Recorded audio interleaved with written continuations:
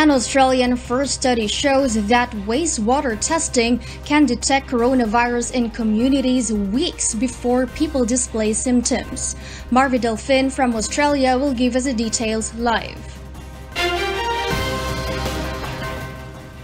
Yes, Marvi.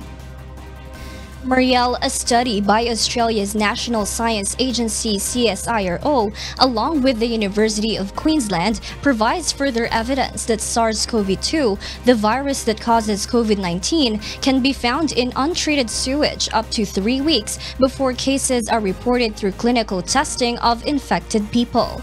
The findings of the study published in the Science of the Total Environment Journal was confirmed by Trevor Drew, director of CSIRO's Australian Centre for Disease Preparedness, saying the testing of wastewater detected COVID-19 before people felt sick, as their bodies started shedding the virus before they knew they were infected. CSIRO's lead author Warish Ahmed said the research team tracked the genetic materials of the virus in infected people's feces flushed into the wastewater system where the virus gradually disintegrates, leaving behind fragments of its unique RNA signature.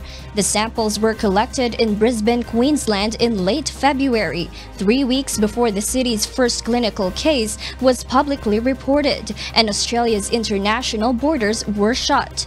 As economies now reopen and people become more mobile, researchers are hopeful that their findings could lead to an early detection system that would help the decision making of authorities to target specific areas for public health interventions and avoid full lockdowns of larger regions. Wastewater monitoring could save billions worldwide, being significantly cheaper and faster than clinical screening for COVID-19. But for the meantime, it is being used as an added diagnostic measure.